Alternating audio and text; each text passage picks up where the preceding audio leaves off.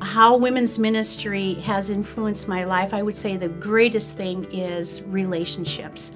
You know, God has designed us as women for relationships, and not just shallow relationships, but deep, deep relationships.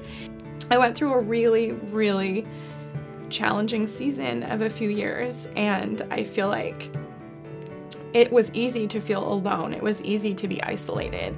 And because of the help of women here, I was able to get the support that I needed and get the encouragement that I needed. And I don't frankly know how I would have survived it without that. This is a season of my life where it's really easy to be isolated and women's ministry has offered me an opportunity to connect, to feel that I'm not alone and um, to just have fun and laugh with other women.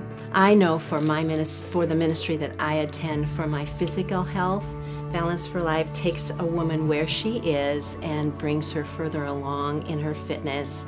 And that type of partnering together is what we can all do. If you give um, of your time or of your resources to women's ministry, that helps bring other women along in their fitness, whether it's spiritual, physical, mental, or emotional uh, we all have an opportunity to grow women where they are and take them further to where they're going to be in the Lord, in their life, in their families.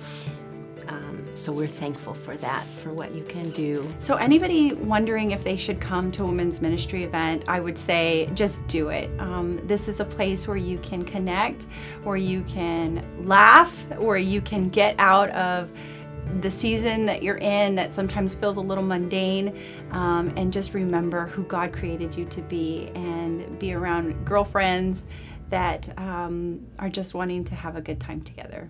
So do it.